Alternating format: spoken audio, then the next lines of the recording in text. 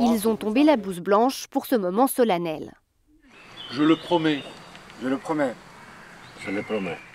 Il y a quelques jours, avant de partager un repas, une quarantaine de médecins de l'hôpital cantonal de Fribourg se réunissent pour prêter un nouveau serment, le serment suisse, version actualisée de celui d'Hippocrate, initié par l'Institut Dialogue Éthique et porté par la fêtière des chirurgiens helvétiques. Je n'accepte aucune prestation financière ni d'autres avantages, en particulier pour l'assignation et le transfert des patients. Je ne conclus aucun contrat m'astreignant à des quantités définies de prestations. Rejeter frontalement les pressions économiques, par exemple en refusant d'opérer lorsque ce n'est pas indispensable, c'est la principale innovation du texte. Car selon les auteurs du serment, médecins et patients doivent impérativement être préservés de cette logique. Ce serment est beaucoup plus concret que tous les serments et toutes les déclarations précédentes. En particulier, il a aussi été fait pour contrer la financiarisation de la médecine, pour éviter que la médecine ne devienne qu'un pur business.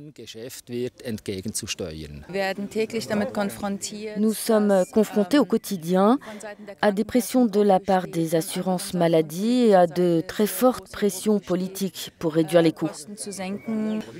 Et nous ne voulons pas que cela entraîne une moins bonne prise en charge de nos patients.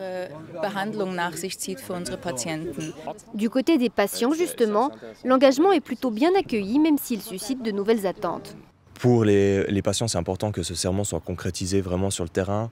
On constate encore régulièrement des, violations de droits assez élémentaires des patients, comme le droit à recevoir son dossier médical ou le droit à être informé de, manière vraiment conséquente sur une thérapie. Et donc, on souhaite que ce, beau serment puisse être concrétisé sur le terrain, que les patients, euh, que les médecins, pardon, soient sensibilisés à ces questions-là.